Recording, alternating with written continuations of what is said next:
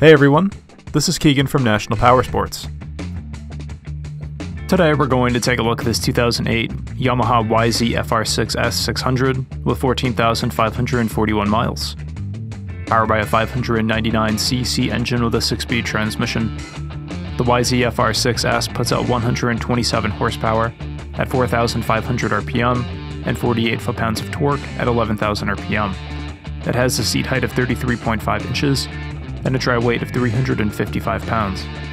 This bike has been upgraded with a Yoshimura slip-on muffler, a rear fender illuminator kit, rear turn signals, swing arm spools, a tinted windshield, and an LED taillight.